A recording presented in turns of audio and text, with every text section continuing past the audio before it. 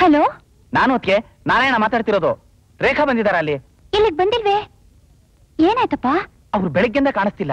ಅಕಸ್ಮಾತ್ ನಿಮ್ಮನೆಗೆ ಬಂದ್ರೆ ತಕ್ಷಣ ನಂಗೆ ಫೋನ್ ಮಾಡಿ. ನಾನು ಬ್ರಹ್ಮೇಂದ್ರ ಮನ್ಲಿದ್ದೀನಿ. ನಾನು ಮಹೇಶ್ಗೂ ಫೋನ್ ಮಾಡ್ತೀನಿ. ಇಷ್ಟಕ್ಕೆಲ್ಲ ನಾನೇ ಕಾರಣ. ನನ್ನ ಮಾನ ಉಳಿಸೋಕೋಸ್ಕರ ಅವರೆಲ್ಲ ಪ್ರಾಣ ಜೊತೆ ಹೋರಾಡ್ತಾ ಇದ್ದಾರೆ. ಇದಕ್ಕೆಲ್ಲ ನಾನೇ ಒಂದು ದಾರಿ ಮಾಡಬೇಕು. ನನ್ನಿಂದ ಪ್ರಾರಂಭವಾದ ಈ ಕಥೆ ನನ್ನಿಂದಲೇ ಸರಿ ಹೋಗ್ಬೇಕು. ನನ್ನಿಂದಲೇ ಸರಿ ಹೋಗ್ಬೇಕು.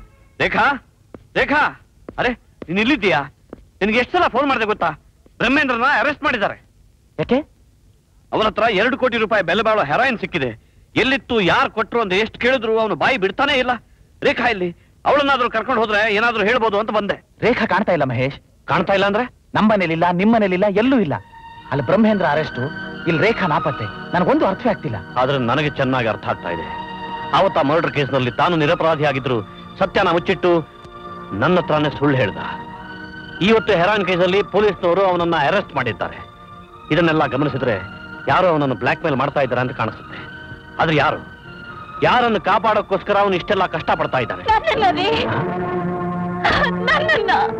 ಲತಾ ನೀನು?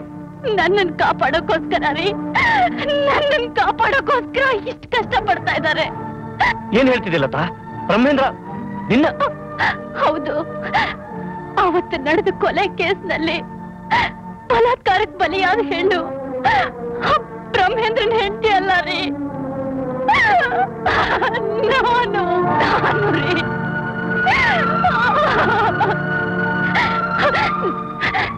ನಾನು, ನಾನ್ ನಿಮ್ ಹೆಂಡತಿ ಆಗಿರೋಕೆ ಯೋಗ್ಯಳಲ್ಲ ರೀ.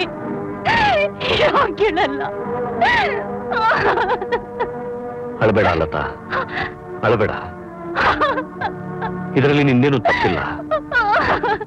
ನನ್ನ ಮೇಲೆ ಸೇಡ್ ತಿರ್ಸ್ಕೊಳಕ ಕಾಯ್ತಿದ್ದ ಆ ಚಂಡಾಲರ ಬಲೆಗೆ ನೀನ್ ಬಲಿಯಾದೆ. ಆದ್ರೆ ಇವತ್ತಿಗೂ ನೀನು ನನ್ನವಳೆ. ನಾನೆಂತ ದುರದೃಷ್ಟವಂತ? ನನ್ನ ಹೆಂಡತಿ ಪ್ರಾಣ ಸ್ನೇಹಿತರನ್ನ ಅರ್ಥ ಮಾಡ್ಕೊಳ್ಳದೆ ಹೋದೆ.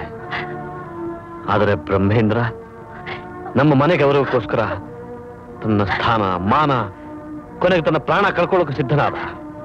Is truly great